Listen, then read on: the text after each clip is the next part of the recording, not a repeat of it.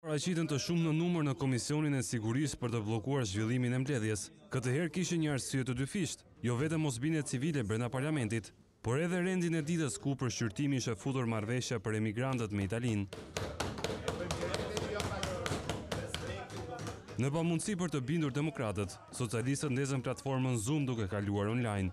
Taulant Balla bëri prezantimin e aktit, duke u shprehur se në kampin që do të ndërtohet në Gjadër të Lezhës, Nuk do të mund të qëndrojnë më shumë se tre mijë emigrantë njëkohësisht dhe se atyre u ndalohet dalja.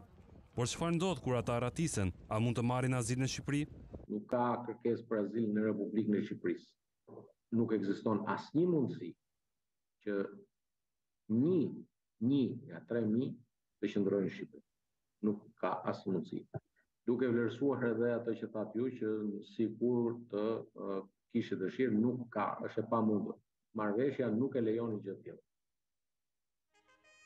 Opozita e cilëson këtë marrëveshje si antikushtetuese dhe oponencën juridike zgjodhi ta bëjë kryetari i Komisionit të Sigurisë, Nasip Naço.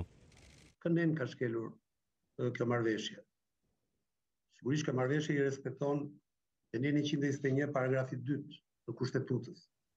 Kjo marrëveshje respekton me drejtë ligjin për marrëveshje ndërkombëtare. Tridhjetë e nëntë nene ka kjo marrëveshje. Cilën nen kemi shkelur nga kjo marrëveshje? Nga ky ligj. Asnjë. Cilat nga nenet kemi shkelur për konventat ndërkombëtare? Asnjë. Në mungesë të demokratëve, marrëveshja gjeti konsensus në miratimin e saj në parim. Tashmë akti do të shqyrtohet edhe nga Komisioni i Ligjeve, përpara sesa të shkojë për miratim në seancën plenare të njëzet e një dhjetorit.